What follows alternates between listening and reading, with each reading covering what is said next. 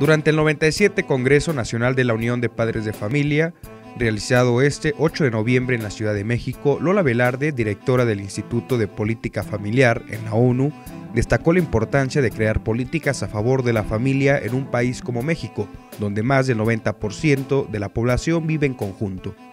Al término de su conferencia titulada Familia y Educación, Panorama Internacional, la especialista fue enfática en la importancia de la participación social para la creación de leyes que favorezcan a la realidad social más importante que es la familia. La participación en México es fundamental desde abajo, desde los padres de familia, desde las asociaciones familiares, desde las asociaciones juveniles que tengan, que sean portavoces con sus representantes políticos y que, y que presionen a sus representantes políticos para que defiendan sus valores.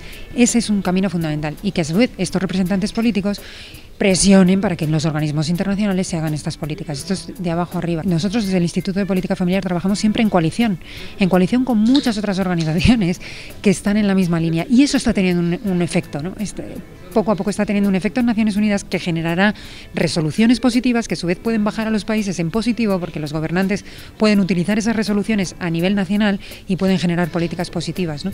Entonces, esta comunicación entre sociedad civil y representantes políticos, que muchas veces está rota, completamente rota, y que hay como una, una separación entre ambos, hay que crear estos lazos, hay que crear estos puentes para que nuestra voz tenga consecuencias políticas. tanto en los organismos internacionales como a nivel local, a nivel nacional, en todos los aspectos. Finalmente, la española dirigió un mensaje para yoinfluyo.com y sus lectores. Animaros a vosotros. Tenéis esta asociación fantástica que se llama Yo Influyo. Esa es vuestra vocación. Entonces, que cumpláis vuestra misión. Que cumpláis vuestra misión porque es esencial y porque realmente puede generar un cambio, puede generar una transformación. Sois necesarios. Y lo que ocurre en un país luego tiene reflejo en los demás. Es decir, vivimos en un ámbito globalizado, en un ámbito eh, internacional ya. ¿no? Así es que mucho ánimo con vuestra labor. Por favor, perseverad en ella y tened esperanza. ¿Eh? porque los cambios ocurren y, realmente se logran eh, aspectos positivos que al final revierten en la vida de las personas, en una mejor vida, en que las personas vivan con oxígeno ¿no? y, y con más felicidad. Un saludo para todos los lectores, suscriptores de Yo Influyo. Mucho ánimo con vuestro trabajo. Es fundamental vuestro trabajo para influir realmente en las políticas públicas, para llegar a los gobernantes.